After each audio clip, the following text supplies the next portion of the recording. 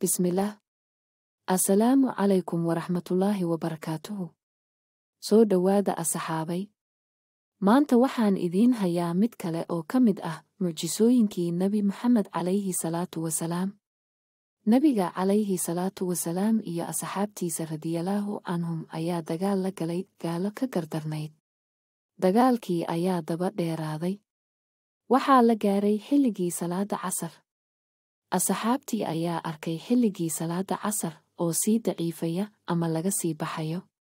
Waxa ay la hadleen nebiga calayhi salaatu wasalaam nebigii alow salaaddii casarka wakhtigeedii waa laga sii baxayaa dagaalkuna weli waa ka nagu socda maxaan samaynaa? Nebigu calayhi salaatu wasalaam farta ayuu ku taagay qoraxda markaasuu yidhi qorax yahay. Amarka allaah ayaad ku socotaa anaguna amarkiisa ayaan ku dagaalamaynaa ee meeshaada ha ka dhaqaaqin inta aan dagaalkan ka soo dhammaanayno. Qoraxdii meesheeda ayay taagnayd amarka allah ilaa dagaalkii ka soo dhammaaday muslimiintii dagaalka ku jirtayna ay casarka ka tukadeen. Markay salaaddii dhammaysteena hayaankeedii ayay dib u bilowday.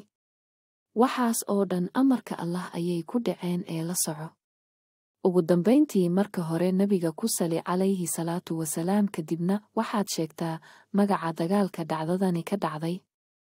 Qofka ugu horreeya ee sheega waxa uu ku guulaysan doonaa soddon doolar sii sheergareeya inshaa allah